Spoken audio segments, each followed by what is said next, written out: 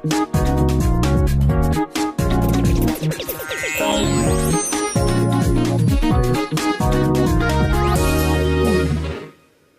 aufrechte Gang hat uns im Laufe der Evolution viele Vorteile gebracht. Allerdings scheint diese Konstruktion auch ein bisschen anfällig zu sein. Und dann sieht man vielleicht so aus hier. Tja, Spaß beiseite. Rückenschmerzen sind die Volkskrankheit Nummer eins. Statistisch gesehen haben 70 Prozent der Deutschen mindestens einmal im Jahr Rückenschmerzen und schätzungsweise 80 Prozent haben es auf jeden Fall mindestens einmal im Leben.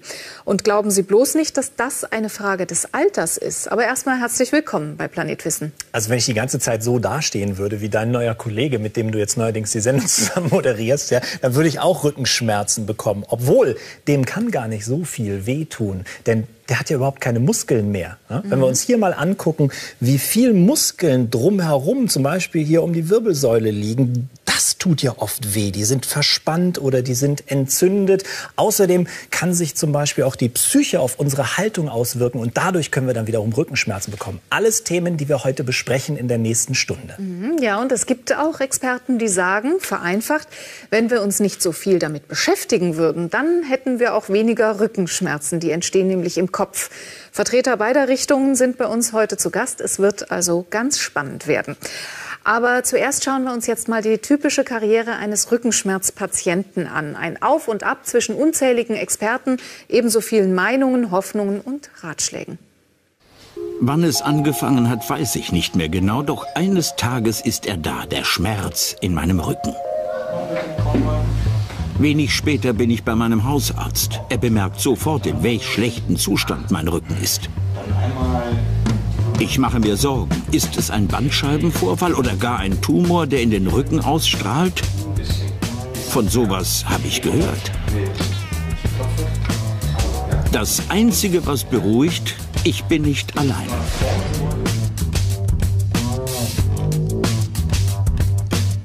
Wir beobachten nicht selten, dass in einem ersten Patientenkontakt Sachen gesagt werden, die wir später nur sehr, sehr schwer wieder korrigieren kann. Ganz klassisches Beispiel. Ein Patient mit Rückenschmerzen geht zu seinem Arzt die Wirbelsäule wird geröntgt. Der Arzt demonstriert dem Patient das Röntgenbild und sagt den Satz, die Wirbelsäule sieht ja katastrophal aus. Eine solche Äußerung bleibt häufig über Jahrzehnte im Gedächtnis. Mein Arzt hat kein Röntgengerät. Zwar habe nur einer von 100 Rückenpatienten wirklich etwas Ernstes, doch man wisse ja nie. Er überweist mich zum Orthopäden. Für die Schmerzen gibt er mir eine Spritze. Von einer Schmerztherapie erzählt er nichts. Schmerzbehandlung ist ein ganz elementarer Bestandteil. Schmerzbehandlung ist wichtig, um nicht ein Schmerzgedächtnis zu provozieren. Wenn jemand chronische Schmerzen hat, dann wissen wir, dass solche Schmerzen auch erlernt werden können. Wenig später beim Orthopäden. Nach kurzer Untersuchung lautet sein Urteil Röntgen. Orthopäden greifen gern zu diesem Mittel, schließlich haben sie das Gerät dazu und es ist doch besser, sich ein Bild zu machen.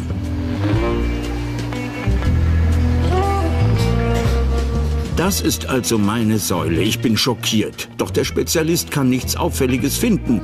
Um sicher zu gehen, überweist er mich zum Radiologen. Der schiebt mich in den Magnetresonanztomographen. Ich bin beeindruckt. Der Radiologe ist ein freundlicher Herr. Zu meinen Bildern will er allerdings nichts sagen. Er habe zwar so seine Erfahrung, aber das sei Sache des Orthopäden. Wir müssen ernste Ursachen ausschließen. Und hierzu ist das normale Röntgenbild und das Kernspintomogramm in vielen Fällen die beste Methode. Die muss man machen. Die Gefahr besteht darin, dass man die Befunde hier überbewertet. Wir wissen aus vielen Untersuchungen, aus Studien, dass diese Verfahren scheinkrankhafte Befunde zeigen können. Ich wäre schon froh, wenn ich überhaupt einen Befund hätte. Auf der Arbeit melde ich mich krank. Solange nichts klar ist, gehe ich nicht ins Büro. Die Tage bis zum Termin kriechen dahin. Ich überlege mir schon, wem ich meine CDs vermache. Endlich ist es soweit. Mit ausgewählten Worten erklärt mir der Orthopäde, dass nichts zu sehen sei. Kein Bandscheibenvorfall, kein Tumor. Gegen die Schmerzen verschreibt er mir Fango und Massagen. Zum ersten Mal fühle ich mich richtig verstanden und wünsche mir mehr davon. Fango und Massagen sind durchaus sinnvolle Therapien in der kurzfristigen Behandlung eines Rückenschmerzes. Sind alles Verfahren, die dazu führen, die Muskulatur zu entspannen. Das kann man machen in einem akuten Stadium des Rückenschmerzes der Verspannung, aber keinesfalls als Dauertherapie, denn es ist etwas, was den Rückenschmerz belohnt und damit wieder verstärkt.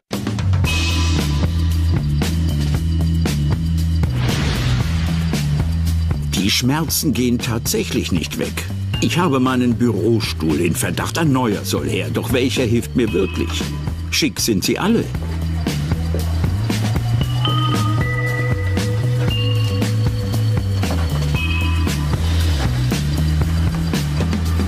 Zu Hause identifiziere ich mein Bett als Totalversager.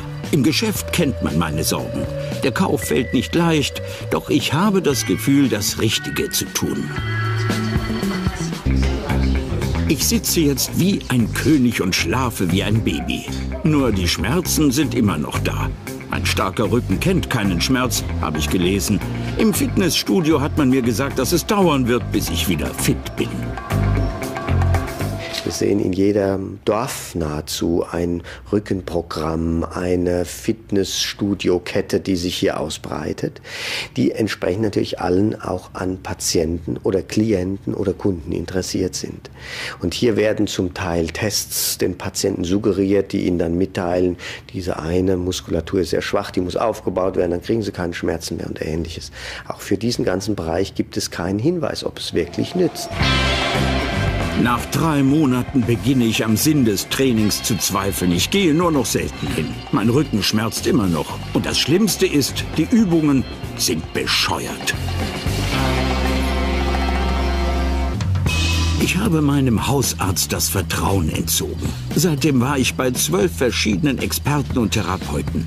Ich bin jedes Mal gespannt, was mir empfohlen wird. Meine Rückenschmerzen bleiben. Rückenschmerz ist ein eigentlich, ich sage es ein bisschen ketzerisch, geniales Symptom. Es hat einen enormen sekundären Krankheitsgewinn, weil es belohnt wird. Es wird belohnt mit Zuwendung in Form dieser ganzen Sachen wie Massagen und Krankengymnastik. Es wird belohnt in Form von Rückzug, also Schonung. Es darf nicht gehoben werden oder weniger gehoben werden. Es wird zum Teil krank geschrieben. All das unterstützt auch dieses Symptom Rückenschmerz und jeder versteht, es ist ein sozial akzeptiertes Symptom. Das alles ist jetzt ein Jahr her. Als mir der letzte Quacksalber eine Psychotherapie empfohlen hat, bin ich aufgesprungen. Es würde der Gesellschaft wohl passen, uns Rückenschmerzpatienten in die Klapse zu stecken. Bei dem Sprung habe ich mich am Knie verletzt. Seitdem sind meine Rückenschmerzen verschwunden. Tja, Happy End. Der ein oder andere mag jetzt vielleicht sagen, ja, habe ich schon immer gesagt, ähm, irgendwie völliger Quatsch mit dieser Volkskrankheit Nummer eins, alles überschätzt. Und der andere sagt möglicherweise, na, ich fühle mich jetzt verkannt. Gut, also, dass wir den Mann aus dem Film gerade eben mhm. heute hier bei uns haben. Herzlich willkommen, Professor Peer Eisel. Hallo. Sie sind Direktor an der Uniklinik Köln, Fachbereich Orthopädie.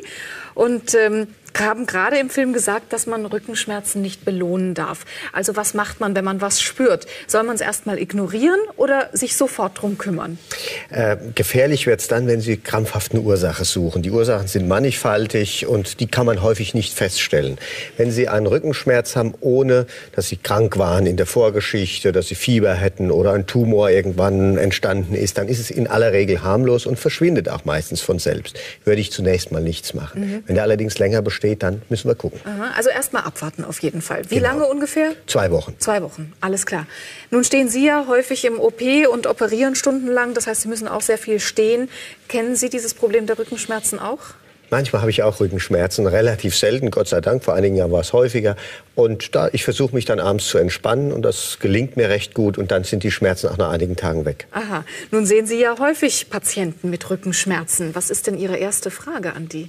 Die erste Frage ist, ähm, haben Sie eine ernste Erkrankung in der Vorgeschichte? Das ist tatsächlich das Allerwichtigste, denn das könnte Hinweis sein auf eine wirklich behandlungsbedürftige Ursache des Rückenschmerzes. Und das ist aber ganz, ganz selten der Fall. Und wenn die negiert wird, also abgelehnt wird, dass das nicht besteht, dann frage ich genau, schaue ich mir das Symptom an, wo tut es weh, wird der Schmerz projiziert und, und, und.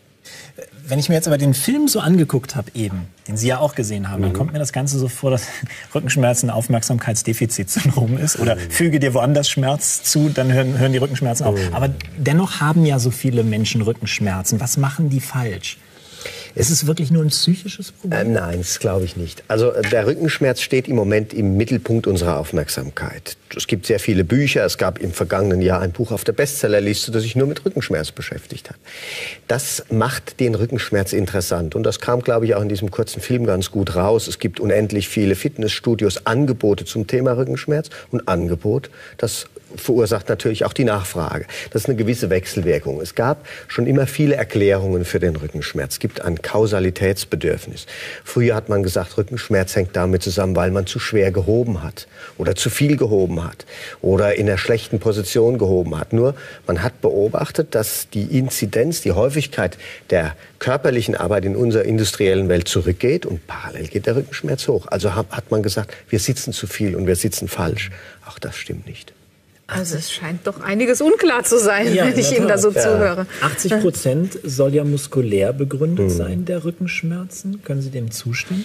Was weh tut, ist häufig der Muskel, da haben Sie recht. Das ist ähnlich wie ein Krampf nachts, den Sie bekommen. Und das ist das besonders Empfängliche am Rücken. Der Rücken besteht aus ganz, ganz vielen kleinen Muskelgruppen, die Sie nicht bewusst innervieren, also versorgen können. Sie können bewusst sagen, ich mache meinen Bizepsmuskel krumm und gerade. Das ist dieser Muskel hier. Am Rücken gelingt das häufig nicht. Dann widersprechen brechen sich diese Kerle, diese verschiedenen Muskeln und dann kriegen sie ganz heftigen Rückenschmerz.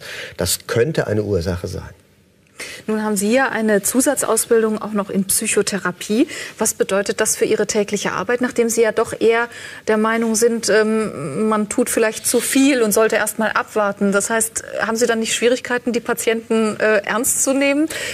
Also ich, von Anfang an? Es ist etwas Ernstes. Rückenschmerz ist deshalb etwas Ernstes, weil er manchmal chronifiziert. Das haben wir im Film gesehen. Dieser junge Mann hatte ein Jahr schlimme Pein und das hat sein Leben wirklich schlimm beeinflusst. Also ich nehme Sie ernst. Ich bin in erster Linie Handwerker. Das heißt, ich arbeite zu 80 Prozent meiner Zeit im Operationssaal. Die Psychotherapie ist wichtig, um Indikationen zu überprüfen. Indikationen für eine konservative oder operative Behandlung. Und deshalb ist es auch wichtig, dass man einen Zugang zur Psyche des Menschen hat. Da, da hilft mir die Psychotherapie. Ich führe keine Psychotherapie durch, aber ich benutze es als Instrument, um Indikationen für Operationen oder konservative Behandlung zu prüfen. Und dadurch natürlich dann auch zu verhindern, dass man in so eine typische Rückenschmerzkarriere, wie das so genau. schön heißt, verfällt. Ja, wir wollen das aber hier nicht alles bagatellisieren. Es gibt ja durchaus schwere Rückenvorfälle, ja, wie zum bestimmt. Beispiel Bandscheibenvorfälle, ja. Hexenschuss. Das sind Sachen, über die wir im Laufe der Sendung später noch reden werden. Genau. Tja, da kommt einer mit ähm, Rückenschmerzen zum Arzt und der hat auch nach einer längeren Untersuchung dann keine Ahnung, woher sie kommen. Da greifen dann leider immer noch einige Ärzte viel zu schnell zum Skalpell. Das kritisieren inzwischen auch die Arztkollegen. Jürgen Harms, Chefarzt der Wirbelsäulenchirurgie in Karlsbad, bereitet sich auf eine OP vor. Schmutzige Wäsche in der Öffentlichkeit waschen ist normalerweise nicht sein Ding. Aber auf dem boomenden Gebiet der Wirbelsäulenchirurgie sind massive Fehlentwicklungen zu beklagen. In Deutschland werden ungefähr 70.000 Operationen, Bandscheibenoperationen pro Jahr durchgeführt. Und das sind für mich 30.000 bis 35.000 zu viel. Viele dieser OPs würden aus wirtschaftlichen Gründen gemacht, sind medizinisch überflüssig, klagt der Professor. Und das hat Folgen. 60 Prozent seiner Zeit verbringt Jürgen Harms nämlich damit, Kollegenpfusch zu reparieren. Pfusch ist ja ein sehr äh, herbes Wort und äh, ich glaube, ich sollte mich da als Kollege etwas zurückhalten, das als Pfusch zu bezeichnen. Aber es gibt, ist, ist ganz klar, dass zu viel an der Wirbelsäule operiert wird und es gibt hier auch zu viele Kollegen, die sich an Dinge heranwagen, äh, denen sie von ihrer Ausbildung her nicht gewachsen sind. Fünf vor zehn. Bereits seit einer Stunde wird operiert. Mit Hammer und Meißel arbeitet Jürgen Harms an den Wirbelkörpern. Ein falscher Schlag kann die Querschnittlähmung bedeuten. Trotz des hohen Anspruchs an den Operateur gibt es keine geregelte Ausbildung in der Wirbelsäulenchirurgie. Das andere Problem ist, dass es kein Qualitätsmanagement, keine Qualitätskontrolle gibt. Wenn wir in der Wirbelsäulenchirurgie 35 Prozent schlechte Ergebnisse haben, wird das voll akzeptiert. Wenn wir das Gleiche in der Hüft- und in der Kniechirurgie hätten, würde ein Aufschrei durch das Land gehen. Mitverantwortlich für die desolate Situation In Deutschland sind es Orthopäden, Unfallchirurgen und Neurochirurgen, die an der Wirbelsäule herumdoktern. Einheitliche Standards, Fehlanzeige. Kein Wunder, dass sich in Jürgen Harms Archiv ein wahres Gruselkabinett befindet mit Fällen verpfuschter Rücken-OPs. Beispiel. Falsche Anwendung von Knochenzement. Wir sehen leider in einer Wirbel- und Spezialklinik dann häufig die Folgen äh, dieser Knochenzementauffüllung, weil eben äh, der Knochenzement den Knochen zerstört. Sie sehen die typische Knochenstruktur und hier sehen Sie die schrecklichen Folgen nach Knochenzementauffüllung. Zwei Wirbelknochen samt Bandscheiben förmlich weggefressen. Was Halt geben sollte, machte instabil, brachte Schmerzen. Auch Befunde wie diesen sieht Jürgen Harms immer wieder. Die Patientin, und das ist das Entscheidende, wurde siebenmal operiert. Und das ist das Ergebnis. Das Ergebnis ist, dass die, metallische, die metallischen Implantate sich vollkommen gelockert haben. Die Schrauben hier im unteren Bereich hängen frei in der Luft. Ähm, aber viel dramatischer ist diese massive Knickbildung innerhalb ähm, der Wirbelsäule, was zu einer massiven Fehlhaltung des Rumpfes führt. Das bedeutet, dass hier die Nervenbahnen massiv druckgeschädigt werden, was auch bei der Patientin der Fall war. Sie hat eine beginnende Lähmung im linken Bein und vor allen Dingen, was noch dramatischer ist, eine beginnende Blasen- und Mastdarmschwäche oder beginnende Lähmung. Am Rücken krank operiert. Zwei Beispiele von Tausenden. Szenenwechsel. Labor für Biomechanik Uni Ulm. Auf dem Prüfstand ein Bandscheibenmodell. Was hat sie wirklich auszuhalten? Welche Kräfte wirken? Wie genau verformt sich die Bandscheibe? Kaum zu fassen, aber viele dieser fundamentalen Fragen sind bisher nicht zufriedenstellend beantwortet. Hans-Joachim Wilke erforscht seit 15 Jahren die Wirbelsäule mit Präparaten, Modellen, Computersimulationen. Schon das komplexe Zusammenspiel der 28 Wirbel mit Bandscheiben und Bändern ist kaum zu verstehen. Wenn die Muskulatur noch ins Spiel kommt oder wenn wir die Wirbelsäule als Gesamtkomplex uns anschauen, dann verstehen wir eigentlich noch sehr, sehr wenig. Allein die Unterschiede der Muskulatur bewirken, dass Kräfte und Druckverhältnisse sich von Mensch zu Mensch stark unterscheiden. Jede Wirbelsäule ist so individuell wie ein Gesicht. Ein junger Patient, der sportlich sein will, der braucht ganz andere Operationsmethoden als ein äh, älterer Patient, der vielleicht schon unter Osteoporose leidet. Das heißt, hier muss man ganz gezielt individuelle Lösungen äh, anbieten und auch richtig auswählen. Genau diese individuelle Behandlung ist Jürgen Harms Spezialität. Wenn möglich verzichtet er auf vorgefertigte Implantate. Zur Begradigung der Wirbelsäule fertigt er während der OP eine individuelle Schiene und befestigt sie mit selbst entwickelten flexiblen Schrauben. Je genauer die Passform, desto größer die Heilungschance. Also wir richten uns bei dem Biegen nach dem seitlichen Profil, was wir glauben, was der Patient haben sollte. Dreieinhalb Stunden hat die aufwendige Operation an der Wirbelsäule gedauert. Jetzt wird mit einer Röntgenaufnahme überprüft, ob das Ziel des Eingriffs erreicht wurde. Vor der Operation hatte die Wirbelsäule der Patientin eine starke S-förmige Verkrümmung. Der Röntgenbogen fährt über den Rücken der Patientin. Das Team ist gespannt, ob sich die harte Arbeit gelohnt hat. Für Laien ein gespenstisches Bild, dicke Schrauben und Metallstangen im Rücken. Doch die Wirbelsäule ist gerade und stabil. Jürgen Harms ist mit dem Ergebnis absolut zufrieden. Ja, ja, ist gut, okay, danke. Dass andere Kollegen mit fragwürdigen OP-Methoden Geld machen, ärgert ihn. Dieser Spreizer zum Beispiel wird neuerdings immer häufiger bei Rückenpatienten implantiert. Der Hersteller verspricht eine Aufweitung des Wirbelkanals. Rückenschmerzen sollen verschwinden, der unbeschwerte Gang wieder möglich werden. Genau das Gegenteil von dem, was hier gezeichnet ist, findet nämlich statt. Für die, für die Gesamtwirbelsäule ist dies eine absolut schädliche Operation. Rückenschmerzen sind eine Volkskrankheit. Rückenchirurgie ein wahrer Wachstumsmarkt, auf dem viel Geld zu verdienen ist. Höchste Zeit, dass bei Ausbildung und Qualitätskontrolle strengere Maßstäbe angesetzt werden. Ja, das ist äh, wirklich erschreckend. Ähm, man fragt sich, wie häufig das wirklich vorkommt. Sie kennen sicherlich auch genügend Fälle aus Ihrer Praxis, Professor Eise. Ja. Was machen Sie dann? Also ich meine, wenn, wenn so eine Operation ohne Not äh, passiert ist und auch noch verpfuscht mhm. wurde, Müssen Sie dann ein weiteres Mal operieren oder was macht man dann? Schon relativ häufig. In unserem Krankengut sind etwa 40 Prozent der Eingriffe sogenannte Revisionseingriffe. Patienten wurden bereits voroperiert. Wobei ich diesen Ausdruck Pfusch nicht unbedingt nennen möchte. Das Hauptproblem ist bei den Erkrankungen im Bereich der Lendenwirbelsäule die sogenannte Degeneration. Das, was wir als Abnutzung bezeichnen. Das ist nur etwas Physiologisches. Ein Kind mit zehn Jahren hat keine Falten und jemand, der 70 ist, hat Falten. Niemand würde sagen, die Falten sind eine Krankheit. So ist es auch an der Wirbelsäule. Und jetzt gibt es häufig ein Zusammentreffen. Jemand hat Rückenschmerzen, er bekommt eine sehr aufwendige Untersuchung an seiner Wirbelsäule mit tollen Röntgen- und kernspintomografischen Aufnahmen. Und das trifft jetzt zusammen. Der häufige Rückenschmerz und eine häufige Veränderung, die vielleicht normal ist im Kernspintomogramm oder CT. Und jetzt wird eine Operation indiziert. Möglicherweise beseitigt aber die Operation nicht die Ursache des Rückenschmerzes, weil das ein zufälliges Zusammentreffen ist. Das auszuschließen macht die Kunst aus. Und die häufigste Ursache für Beschwerden nach Operationen sind eine unklare Indikation, mhm. dass die eben nicht vielleicht korrekt war oder nicht gestimmt hat.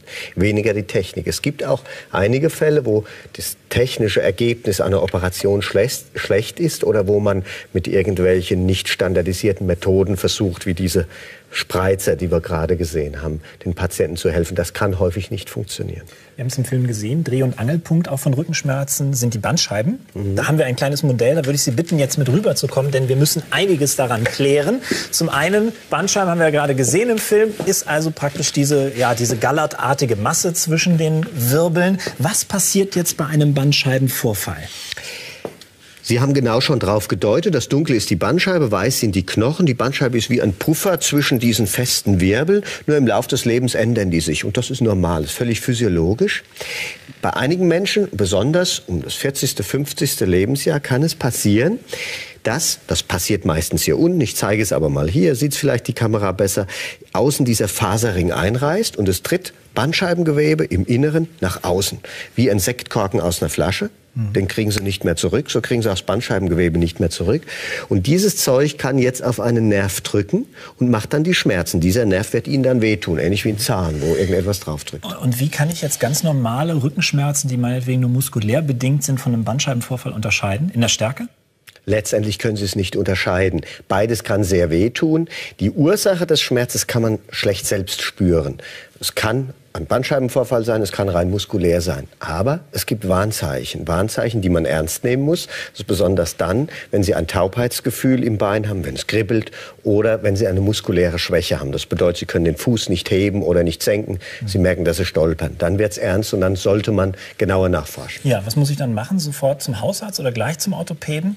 Ach, ich denke, wenn Sie ein gutes Vertrauensverhältnis zu Ihrem Hausarzt haben, sollten Sie erst Ihren Hausarzt aufsuchen und der wird Sie grob, grob untersuchen. Das kann er und wird sie dann weiterleiten zum Spezialisten. Und wie behandelt der Spezialist dann so einen Bandscheibenvorfall? Wenn er solche Symptome hat, die wir gerade besprochen haben, sprich Taubheitsgefühl und Schwäche, dann wird er sehr schnell ein Schnittbildverfahren indizieren. Das wäre heute ein Kernspintomogramm oder ein Computertomogramm.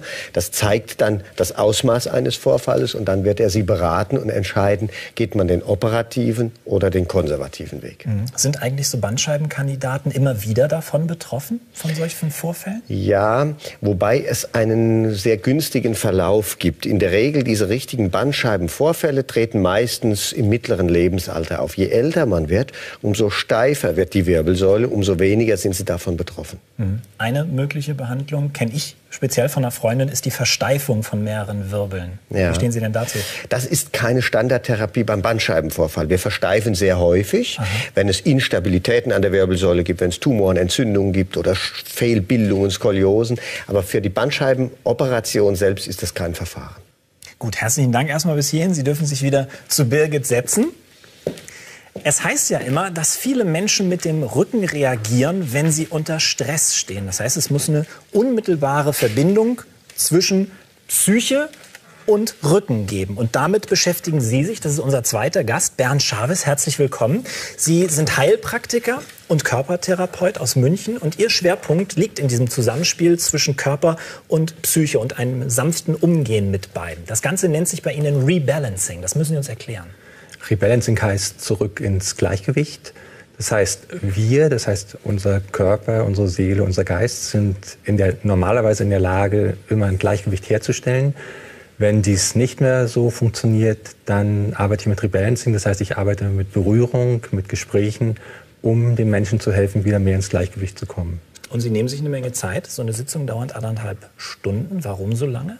Ja, ich nehme mir viel Zeit für einen Patienten. Schon Paracelsus hat gesagt, dass ein Arzt äh, ein gutes Tastgefühl und Wahrnehmung benötigt, um gut zu sein. Das heißt, ich nehme mir Zeit zum Zuhören, das, äh, um den Menschen zu erfassen, um das Problem zu erfassen. Manchmal sind soziale Komponenten spielen eine Rolle, manchmal ist Arbeitsdruck. Dann schaue ich mir den Körper an, also vor allen Dingen die Haltung, wie jemand steht, was spricht der Körper zu mir.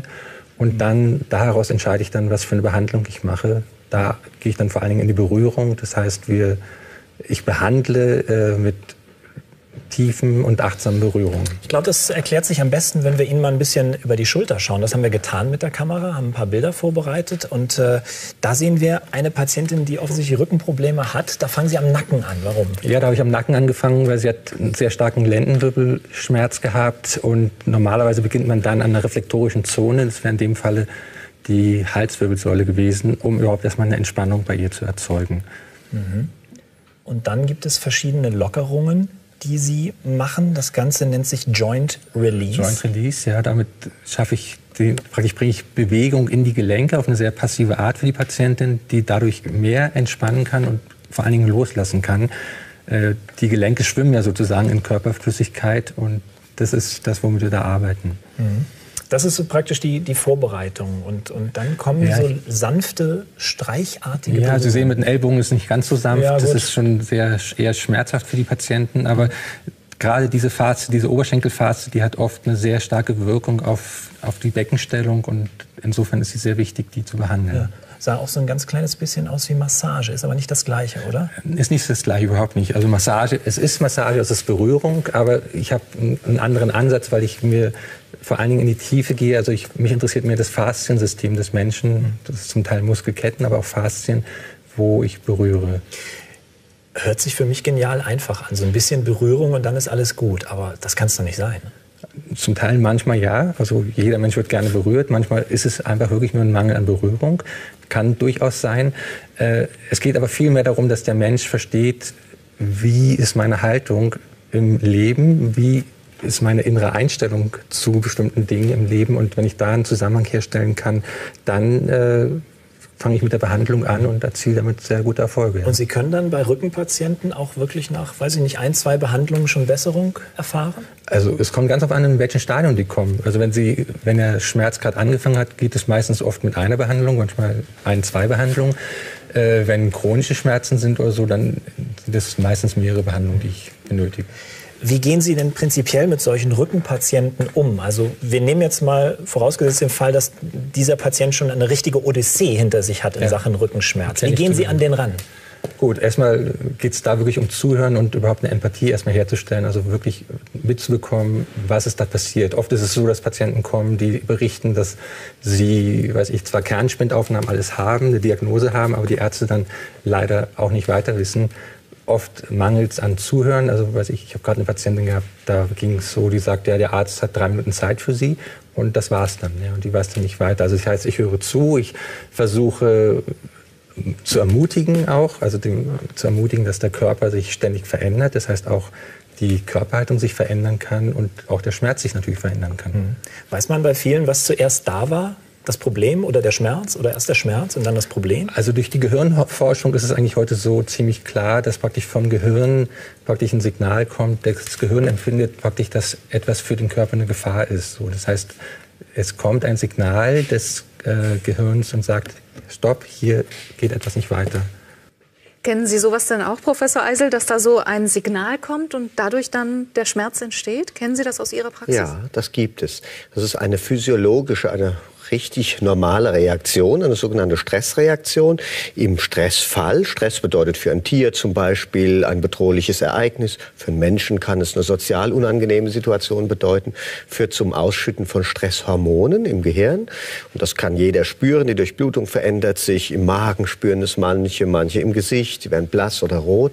Und das kann auch dazu führen, dass sich die Muskulatur verspannt, erhärtet. Das ist wichtig, der ganze Organismus ist auf Abwehr, auf Kampf eingestellt. Und das kann dazu führen, dass sich auch die Rückenmuskulatur nicht mehr oder weniger bewusst verspannt und auch Schmerzen macht. Was tun Sie dann in so einem Fall? Ich selbst, wenn ich das selbst habe, versuche ich mich danach bewusst zu entspannen.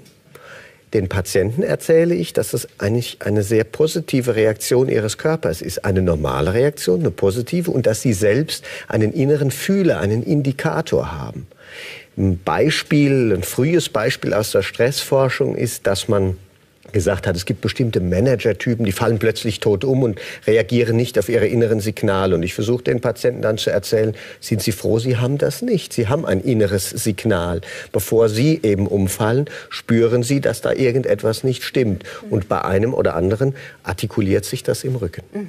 Herr Chavez, ich kann mir vorstellen, wenn solche Menschen zu Ihnen kommen, dass Sie da doch ganz schön auch teilweise tief in die Psyche eindringen müssen von solchen Leuten.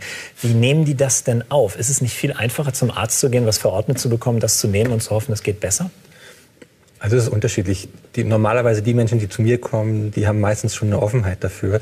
Mhm. Manchmal gibt es natürlich Ehefrauen, die ihren Mann schicken und der erstmal so skeptisch ist, so. Aber da muss ich jetzt auch nicht unbedingt sofort in die Psyche gehen. Ich kann durchaus mit der Behandlung anfangen, derjenige merkt, wie er aufrechter steht, sehr deutlich nach der Behandlung und gewinnt darüber vielleicht Vertrauen. Das, darauf wollte ich auch hinaus. Man muss sich also schon ein bisschen einlassen auf das, was Sie da tun. Ähm, wie sehr innere und äußere Haltung zusammenhängt, das wollen wir jetzt mal demonstrieren. Und zwar haben Sie uns da ein paar Beispiele mitgebracht. Wir können mhm. mal rübergehen, denn dafür brauchen wir ein bisschen Platz ich gehe jetzt immer mal von mir selber aus. Das mache ich einfach mal, weil ich ja, so ein bisschen gerne. als private Therapiestunde das jetzt auch ausnutze. Also ich bin so ein Typ, der teilweise wirklich Schwierigkeiten hat, sich zu entspannen. Das heißt, ich bin immer angespannt, ziehe so ein bisschen die Schulter hoch und sitze teilweise auch beim Essen so und vergesse immer wieder, hey, ruhig bleiben. Ja. Das ist bei Ihnen mehr die linke Seite als die rechte, Hab deutlich gesehen, sichtbar. Ja, das, äh, ja, es kann sein. Ich kann das jetzt nicht so pauschal sagen, was, was bei Ihnen der Grund ist. Aber wenn Sie sehr viel Stress haben und das Gefühl haben, Sie müssen sehr viel leisten, ja. dann ist es praktisch eine offene Reaktion, dass jemand wirklich die Schultern hier anspannt und das dann, wenn das über längere Zeit so geht, kann es sein, dass die Muskulatur verkürzt und ja. dann auch so bleibt, dass Sie das vor allen Dingen dann spüren, wenn Sie in die Entspannung kommen. Mhm. Wir können es gerne mal überprüfen. Nee, ein paar Übungen dagegen will ich nachher von Ihnen noch abfordern. Okay. Ich will jetzt erstmal so ein paar, ja, äußere Haltungen, wo man Gut. auf die Psyche schließen kann und umgekehrt. Genau. Vielleicht kennen Sie das Comic von den Peanuts. Charlie Brown, ja. der hat äh, mal gesagt, wenn ich depressiv bin und wenn ich äh, diese Depression liebe, dann ist das Schlimmste, was ich tun kann, ist praktisch mich aufzurichten, weil es mir sofort besser geht. Ja, das zeigt einfach nur, wie sehr unser Körper eigentlich das ausdrückt, was, wir, was uns ausmacht, was wir fühlen. Ja. Wenn Sie, stellen Sie sich ruhig mal hin, mit vielleicht die Füße ganz eng, genau, so eng zusammen. Das heißt, ich nehme gar nicht den Platz, vielleicht der mir zusteht im Leben. Das heißt aber auch, dass ich vielleicht relativ schnell um, mich Dinge umwerfen. Ja. Mhm. Umgekehrt können wir genauso das Beispiel nehmen, zu breitbeinig zu stehen, die was so Türsteher-Syndrom ist, wenn ich hier so stehe, scheinbar sehr stark. Aber auch hier ist es so, dass ich praktisch sie nur antippen brauche ja. und es sie umschmeißt. Also es ist oft gar nicht so sehr, jemand wirkt stark, aber er ist gar nicht so stark. Äh, hier der klassische Genau, wobei da werden Sie wahrscheinlich eher, wenn Sie Rundrücken haben, eher den Kopf hochziehen. Das heißt, dass Sie vor allem hier in dem Bereich ein Problem bekommen. Mhm. Äh, sehr viel vielleicht Belastung, vielleicht empfinde ich das Leben als viel zu schwer, kann durchaus sein. Das wäre ein typischer Ausdruck. Die andere, das andere äh, wäre so, die Schultern wirklich so hoch zu ziehen und hier oben zu halten. Hm. Also bei Ihnen sind sie jetzt noch unten, aber es gibt Menschen, die kommen so und die, die sitzen mir so gegenüber, die kriegen gar nicht mehr mit, dass die die Schultern praktisch an den Ohren haben. Also wie gesagt, ein paar Übungen, äh, wie man Entlastung beschafft, werden wir später in der Sendung Ihnen noch demonstrieren. Professor Eisel, Sie stehen solchen Dingen ja nun eher etwas skeptisch gegenüber. Ähm, warum eigentlich? Also äh, wenn man jetzt da sehr viel Brimborium drum macht mit Stress und alles Mögliche, dass man diese Rückenschmerzen hat, da würden Sie ja wahrscheinlich am liebsten sagen, einfach mal ruhig sein. Mhm. Aber ist da nicht doch was dran? Ist bestimmt was dran. Auch diese Behandlungsmethoden sind sicher nicht schlecht. Und es gibt Therapeuten, wie Herr Schavis zum Beispiel, der seine Methode sehr, sehr überzeugend vermittelt, der sehr auch von seiner Methode selbst überzeugt ist. Dann wird er auch seine Patienten überzeugen können. Es wird eine gute Arzt-Patienten-Beziehung oder Therapeuten-Patienten-Beziehung geben und diese Methode wird funktionieren. Mhm. Sie müssen auf der anderen Seite wissen, dass es unendlich viele Methoden gibt, die heißen Pilates und Rolfing und kraniosakrale Therapie und äh, Muskelrelaxation und ähnliches, die sich zum Teil ergänzen, zum Teil widersprechen und alle Methoden haben ihre Befürworter und ihre Erfolge. Nur evidenzbasiert, das heißt in prospektiven Studien verglichen. Prospektiv müssen Sie uns vielleicht gerade noch erklären, die prospektiven Studien. Studien, die man plant und indem man zwei Gruppen bildet und die ganz unter Laborbedingungen im Grunde diesen beiden unterschiedlichen Methoden aussetzt, wird diese Methode wie alle anderen Methoden in ihrer Wirksamkeit nicht zu beweisen sein. Das ist das Problem dieser Studien. Mhm. Aber was machen Sie jetzt ganz konkret mit Leuten, deren ganzes Leben sich um Rückenschmerzen mhm. dreht? Sie können es denen ja. ja schlecht ausreden. Nein, das ist auch nicht der Sinn. Ein ganz elementarer Bestandteil dieser Therapie mit solchen Patienten ist neben der Schmerztherapie, die das Symptom bekämpft, eine kognitive Therapie. Kognitiv bedeutet eine intellektuelle Leistung des Patienten. Diese Patienten suchen häufig von Arzt zu Arzt nach der speziellen Ursache ihres Rückenschmerzes. Jetzt müssen Sie alle davon ausgehen, alle, die hier zuschauen, dass was wirklich Schlimmes sehr, sehr schnell ausgeschlossen ist. Schlimm heißt Tumor, Entzündung, das, was das Leben begrenzt, mhm. kann man sehr schnell ausschließen. Alles andere ist eine Suche nach irgendeiner Erklärung, die jeder Ihnen anders liefern wird. Wir haben eine Erklärung im Moment gerade gesehen. Wichtig ist, dass Sie den Patienten vermitteln, dass Ihnen das nichts bringt. Sie müssen ihnen über den Intellekt, über den Verstand erklären, dass diese Rückenschmerzen nichts Schlimmes sind. Wir müssen ihnen viel über die Anatomie erklären ihres Rückens. Und damit gelingt es sehr häufig, dass man, dass dieser Patient den Rückenschmerz quasi bespricht, dass er ihn neben sich stellt, dass er sich nicht mehr reagieren lässt, regieren lässt von diesem Rückenschmerz und nur noch darauf reagiert, sondern dass er das etwas betrachtet, was vielleicht zu ihm gehört. Und sobald dieser Mechanismus im Gehirn einsetzt, kann er wesentlich besser damit umgehen. Das nennt man Coping-Strategie also Strategie, mit irgendeinem Problem bewusst umzugehen. Mhm. Also da hilft Ihnen ja ganz sicher auch diese Zusatzausbildung mhm. als Psychotherapeut. Ja, hilft mir. Ja, es gibt tausend Gründe für Rückenschmerzen. Deshalb gibt es auch unzählige Ansätze, die Sache zu behandeln.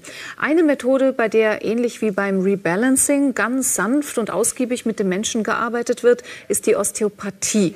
In den USA schon seit Jahrzehnten anerkannt, tut man sich in Deutschland noch schwer damit, obwohl auch hier immer mehr Menschen den Weg zu Osteopathen finden. Hallo, guten Morgen, Frau Leuten. Guten Morgen. Was führt Sie denn heute zu mir? Patienten mit Rückenschmerz. Alltag in der Praxis von Marina Fuhrmann. Lendenwirbelsäule, also unteren äh, Rückenbereich, habe ich starke Schmerzen, die äh, bis in die Hüfte ziehen. Gut, und Ihre Beschwerden, die sind heute im Bereich der linken Hüfte? Ja, beim Gehen, dann auch beim ruhigen Sitzen im Sessel, dann zieht es also hauptsächlich hier. Wo die Schmerzen empfunden werden, ist für die Osteopathin genauso wichtig wie alle Vorerkrankungen. Wahres Fingerspitzengefühl beweist Marina Fuhrmann aber bei ihrer Diagnose. Ob innere Organe, Knochen, Nerven, Muskeln oder Schädel. Die Osteopathin ertastet sanft und von außen kaum sichtbar funktionelle Störungen des Körpers.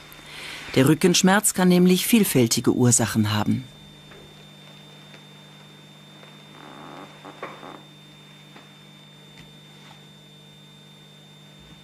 Also Rückenschmerzen sind immer nur als Symptom zu bezeichnen und man sollte seriös versuchen, die Ursache dessen zu finden, warum dieser Körper mit dem Rückenschmerz sich meldet. Die Osteopathie beschäftigt sich intensiv mit dem Bindegewebe, genauer den Faszien. In ihnen sind die Organe wie in einem Strumpf verpackt. Sie verbinden zudem die Organe wie ein Haltenetz mit der Wirbelsäule. Faszien sind normalerweise so glatt, dass die Organe aneinander vorbeigleiten können. Sind die Faszien verletzt oder entzündet, ist das Gleiten blockiert und Schmerzen können entstehen. Hier hilft der Osteopath, indem er durch sanften Druck so, die Organe voneinander löst. Und aus. Denn auch Organverschiebungen können zu Rückenschmerzen führen. Und dies war ja auch bei der Frau Loy jetzt ein Thema, dass wir hier in dem Bereich eine ganz große Bewegungseinschränkung hatten und die zieht sich in dem Bereich bis nach hinten auf das sogenannte Iliosakralgelenk und von dort aus auch auf den Bereich der Hüfte. dann auch hier in dem Bereich der Wirbelsäule mit den austretenden Nerven, die von dort aus auch dann ins Bein ausstrahlen. Manchmal spürt man direkt was. Also eine Fernwirkung auch. Sie drückt irgendwo drauf und irgendwo anders zieht es dann oder lockert sich es dann. Voraussetzung für die Kraft der heilenden Hände sind genaue anatomische Kenntnisse. Die Ausbildung zum Osteopathen dauert fünf Jahre. So viel Zeit ist nötig, um das Innere des menschlichen Körpers ertasten zu lernen. Wir hatten ja eben hier am Anfang der Untersuchung diesen Bewegungsverlust oder diese Blockade, die letztendlich einhergeht mit ähm, den Beschwerden in der Hüfte. Ist jetzt besser? Ja. Mhm. Okay. Ich habe Rückenschmerzen und dann geht man zum Arzt und dann kann der eigentlich in meinem Alter nur sagen, ja, Sie haben eine Arthrose und da kann man eigentlich nichts machen. Das ist eben so. Während äh, Frau Fuhrmann bringt es dann immer fertig, eine Entlastung auch zu bringen oder eine Entspannung, die sich sekundär ergeben hat, äh, zu lösen. Und dann ist das Ganze sehr viel leichter. Osteopathie. Hilfe bei Rückenschmerzen auch ohne Medikamente. Hm. Jetzt haben wir ein paar Mal den Begriff Faszien äh, gehört, gerade im Film. Ja, was bedeutet das? Eine Faszie ist praktisch das, sowas wie das stützende Gewebe im Körper. Schwer, es ist wirklich sehr ausführlich, um das zu erklären. Also wenn Sie sich vorstellen, eine Apfelsine, die Sie ausbringen, dann gibt es praktisch drin so die Häute, ja. die übrig bleiben. Ja? Und das gibt es im Körper genauso. Jeder Muskel, jede Muskelfaser, die Organe, wie Sie eben im Film gesehen haben, sind umgeben vom Fasziengewebe. Das ist ein sehr straffes, festes Gewebe. Mhm. Das ist das Gewebe der Form. Also das macht unsere Körperform aus. Wenn Sie Knochen und Muskel, Fleisch herausnehmen würden, würde grob, sage ich mal, die Form des Körpers noch erkennbar sein im Faszienbereich.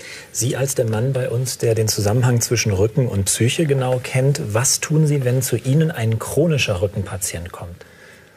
Chronischer Patient kommt es wirklich darauf an, was er ganz konkret hat. Also ich untersuche ihn genauso, was er hat. Häufig kommen die Leute schon mit äh, CT-Bildern, fast die Regel heute. Vor zehn Jahren war es die Ausnahme, heute ist die Regel. Mhm äh, ich untersuche und ich behandle auch relativ schnell, weil natürlich geht es über die Berührung, führt es zu einer Entspannung und oft alleine, dass sich jemand behandelt fühlt, führt oft schon zu einer deutlichen Verbesserung. Und ich hatte Ihnen zu Hause ja Übungen versprochen zur Selbstheilung oder zur Linderung der Schmerzen. Vielleicht können wir mal rübergehen und Sie zeigen uns ein paar Beispiele. Ich benutze sie natürlich wieder gnadenlos, um mein eigenes Leiden zu kurieren. Ja. Hatte ich Ihnen vorhin ja gesagt, ich bin derjenige, der immer die Schultern so ein bisschen nach oben zieht und auch vergisst, in entspannten Situationen sie wieder loszulassen, wie ja. zum Beispiel beim Essen oder so. Man muss mich immer daran erinnern und sagen, hallo Dennis, Schultern runter. Was kann ich selber tun, um das äh, damit ich das nicht mehr tue. Sie können es selber machen. Das, was jemand anderes vielleicht sagt, Sie selber einfach öfters mal am Tag die Schultern bewusst hochziehen, einen Moment halten, einatmen, ausatmen und dann fallen lassen. Das immer wieder am Tag verteilt äh, wird dazu führen, dass Sie anfangen zu spüren, wann Sie automatisch praktisch die Schultern so oben haben. Mhm. Ja, ganz so sitze ich natürlich nicht. Nein, überhaupt nicht. So sitzen ne? Sie nicht ja, da. Aber das ist wirklich eine gute Möglichkeit, mache auch ich immer wieder. Also ja. gerade wenn es draußen kalt ist, jetzt im Winter, also der Winter kommt ja, ja. Äh, ist es oft so, dass Leute die Schultern hochziehen. In der Vermutung, das ist wärmer, aber eigentlich passiert genau das Gegenteil, weil die Muskeln spannen an, es ist weniger Durchblutung und sorgt eigentlich eher für Spannung. Gut, dann vielleicht mal zum normalen Rückenschmerz. Wo hat man meistens Rücken, wie man wie der Volksmund sagt? Ja, gut. hat man Rücken. Die meisten haben meistens im Lendenwirbelbereich Rückenschmerzen, ist schon richtig. Wobei auch heutzutage immer mehr Bereich, äh, Leute oben im, im Halswirbelbereich Schmerzen haben. Also sagen wir, eine gute Standardübung, die man überall machen kann, ist hier die Hand nach unten drücken, das rechte Ohr Richtung rechte Schulter so dass Sie einen guten Zug hier oh, ja, in dem Bereich spüren. Das wird tief, aber ganz schön. Tief einatmen, ausatmen. Beim Ausatmen werden Sie merken, dass es leichter wird. Und dann wieder langsam loslassen. Das dann mit der anderen Seite genauso. Es führt dazu, dass hier wirklich ein, ein guter Zug, eine bessere Durchblutung stattfindet. Vor allem knackt es bei mir manchmal ganz schön im Gebälk. Ja, das hat nichts, ist nichts Schlimmes. Sagen wir mal. Das wäre eine sehr gute Übung, die Sie auch jederzeit überall äh, tun können. Für den unteren, für den Lendenbereich äh, empfehle ich eigentlich am meisten einen Einbeinstand. Das ist so, dass ich praktisch hier schaue, auf einem Bein zu stehen, das Knie etwas locker zu lassen. Ist jetzt nicht für jeden geeignet, möchte ich dazu sagen. Also es geht nicht darum, wenn Sie vielleicht 60, 70 Jahre und Sie wirklich unsicher sind, dann sollten Sie es auf jeden Fall machen, sich irgendwo fest abzustützen. Aber sonst die Arme eher hängen lassen, leicht ins Knie, die Brust etwas übers Knie. Was da passiert, können Sie es vielleicht beschreiben? Ich weiß nicht, was, was spüren Na, Sie im ich- Fußgelenk? Ja, ich gleiche ständig aus. ne? Genau, das ist, das ist das, was passiert. Die Muskulatur arbeitet, die sorgt dafür, dass Sie praktisch immer in- ins Gleichgewicht kommen. Das passiert genauso, wenn Sie mit beiden Beinen dastehen, nur dann nehmen wir es nicht so deutlich wahr. Aber das ist eine sehr gute Übung, ab und zu mal eine Minute beim Zähneputzen oder wenn Sie telefonieren, Ja. einfach mal so und dann umgedreht, wenn es zu anstrengend wird, das andere Bein nehmen.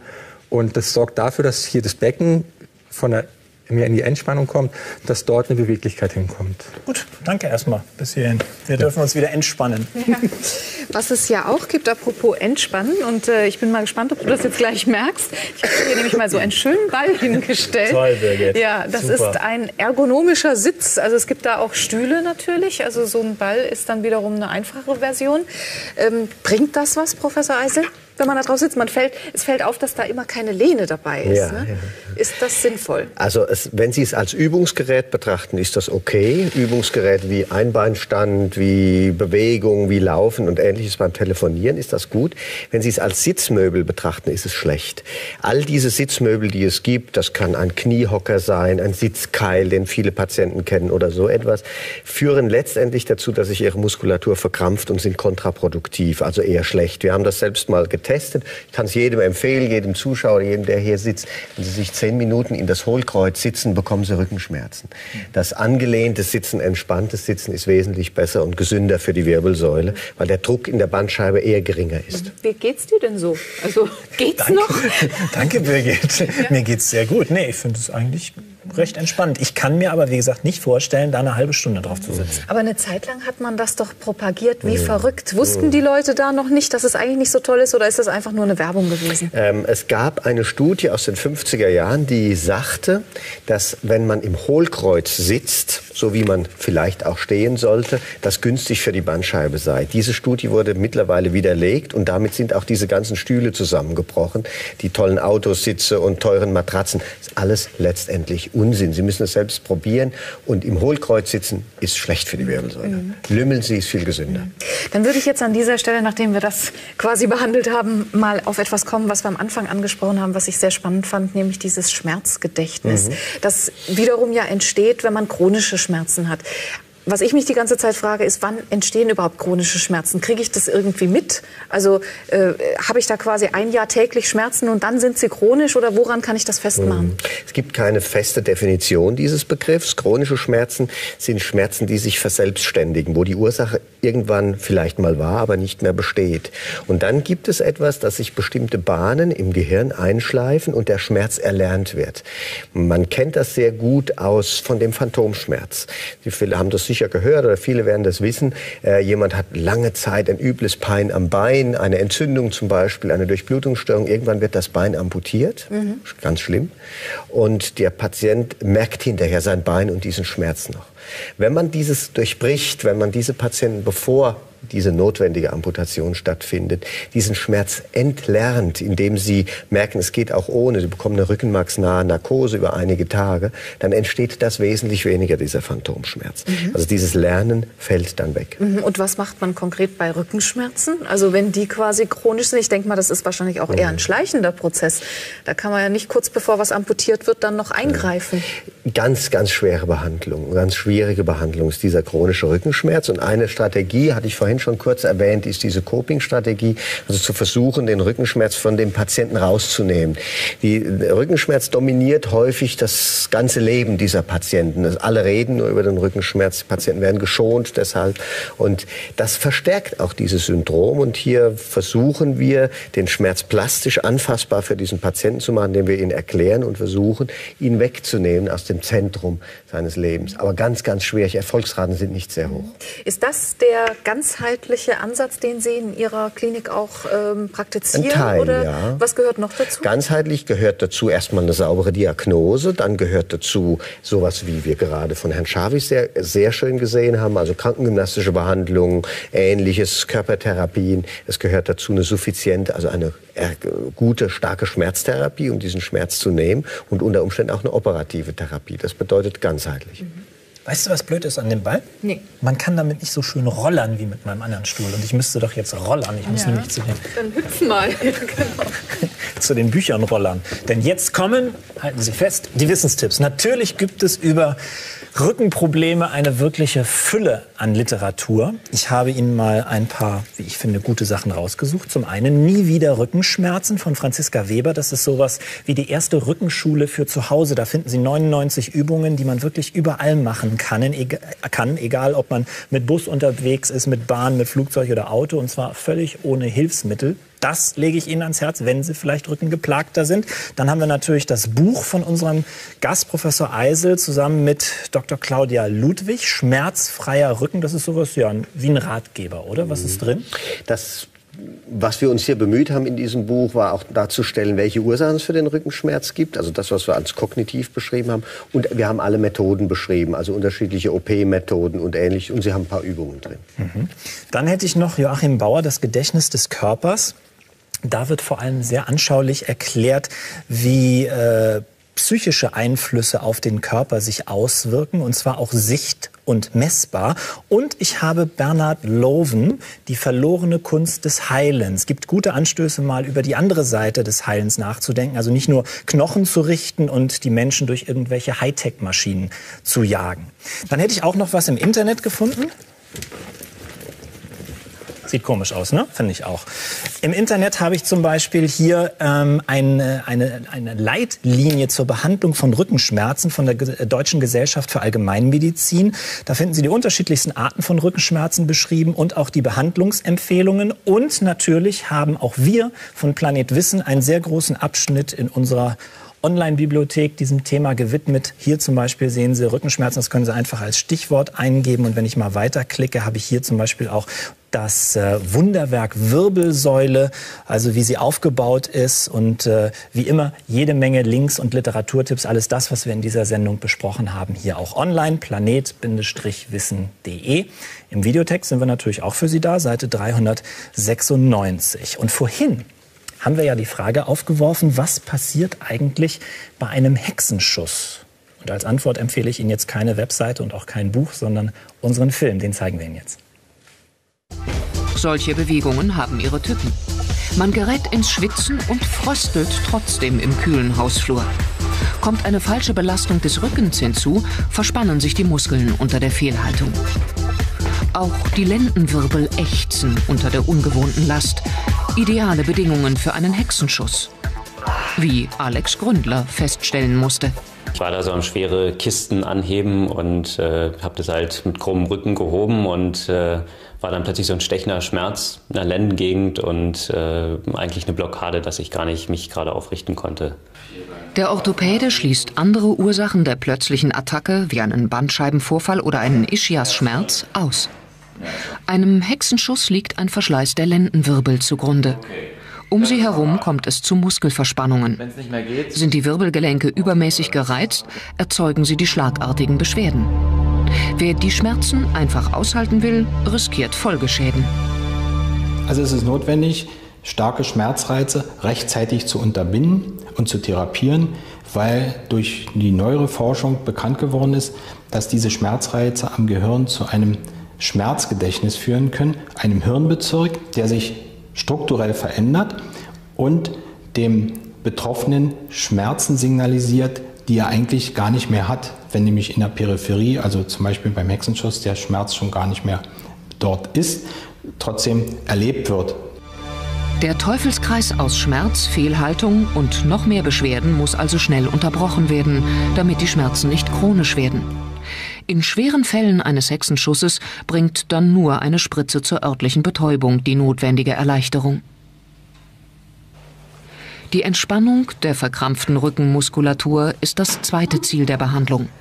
Wärme, Ob wie hier mit Rotlicht, aber auch durch eine Wärmflasche oder eine heiße Dusche, lindert die Beschwerden zusätzlich. Also die Wärme ist bei diesen Schmerzerkrankungen ganz entscheidend, um die Muskulatur wieder zu lösen. Denn immer wenn extreme Schmerzen eintreten, dann spannt sich reflektorisch die Muskulatur sehr stark an. Es kommt zum Muskelspasmus und damit ist die Durchblutung herabgesetzt und die Wärme löst einerseits den Muskelspasmus und fördert eben auch die Durchblutung wieder das ist wirklich kein Spaß. Ich hatte mal einen Hexenschuss in Ägypten im Urlaub. Da wollte ich mir die Haare waschen über dem Waschbecken und kam nicht mehr hoch. Es war die Hölle. Wieso so. lebst du eigentlich hier so rum, Dennis? Das, ist, das macht man automatisch, wenn man aus dem Ding Ach so, sitzt. Ah, ja. ja. schön. Frag mich lieber, warum ich den Luftballon in der Hand habe. Warum hast du den Luftballon? Danke, Birgit. Ich habe die ganze Zeit gesessen und jetzt werde ich dir eine Übung zeigen, wie man seine äh, Wirbelsäule wieder in, ins Lot bringt, wenn man die ganze Zeit gesessen hat. Herr Chavez, Sie helfen mir dabei. Man muss sich ja. einfach vorstellen, der Kopf sei ein Ballon. Genau, also es gibt eine, eine, Übung, die sehr gut ist. Die Vorstellung, dass der Kopf ein mit Gas gefüllter Ballon ist, der nach oben steigt. Mhm. Die, Wirb äh, die Wirbelsäule und die Schultern hängen praktisch wie diese Schnur an diesen Ballon. Und das führt dazu, dass sie praktisch mehr in die Aufrichtung kommen. Willst du mal? Nicht wegfliegen. Nein, es gibt dort wirklich der Professor Hüter in einer Uniklinik in Göttingen, der untersucht sehr stark praktisch, was innere Bilder bewirken. Und der hat sehr stark nachgewiesen, dass praktisch alleine die Vorstellung Nervenverbindungen schafft. So, es gibt auch Sportler, die sich einfach mit Übungen vorbereiten auf Wettkämpfe, weil bestimmte Bewegungsabläufe dann sich im Gehirn praktisch anfangen zu entstehen. Du siehst ganz süß aus mit dem Luftballon. Ja, ich wollte jetzt gerade mal noch kurz fragen, was Sie davon halten. Also ich meine, ich versuche immer noch so rauszufinden, wo die Unterschiede in Ihrer Haltung zu den jeweiligen Therapieformen liegt. Ähm, können Sie das bestätigen mit diesen Bildern im Kopf, dass die auch viel bewirken oder sind Sie da eher skeptisch? Also jeder Deckel braucht seinen Topf und ich bin ganz pragmatisch. Wenn es hilft, ist es gut. Und es gibt sicher Patienten oder viele Menschen, die mit einem solchen Bild gut leben können, aber es gibt auch andere, denen muss man ein anderes Bild geben oder eine andere Therapie. Und mhm. wenn die wirkt, ist sie gut. Mhm. Aber ich habe also aufgrund dessen auch so den Eindruck, dass sie eigentlich gar nicht so weit auseinander liegen. Und Letztlich. außerdem sagt man ja immer, wer heilt, hat Recht. So ist es. Mhm. Ähm, Stichwort Eigenverantwortung. Das sollte man vielleicht am Ende dieser Sendung noch mal sagen, dass die Leute wirklich auch ähm, im Grunde genommen sehr intensiv selber mitarbeiten müssen, indem sie schon mal den richtigen Arzt oder die richtige Therapie auswählen, indem sie vielleicht eben nicht nur einen, sondern vielleicht zwei oder drei Ärzte konsultieren. Gibt es noch etwas, was man vielleicht an dieser Stelle den Leuten mit auf den Weg geben sollte? Also von mir eine ganz entscheidende Botschaft. Wenn Sie Rückenschmerzen haben, denken Sie mal, in der Regel ist es nicht schlimm. Viele glauben, es ist jetzt die Katastrophe und sie glauben, es geht linear weiter. In fünf Jahren können sie nicht mehr laufen vor Schmerzen. Das stimmt in der Regel nicht. Rückenschmerzen begrenzen sich. Je älter man wird, umso weniger häufig sind Rückenschmerzen.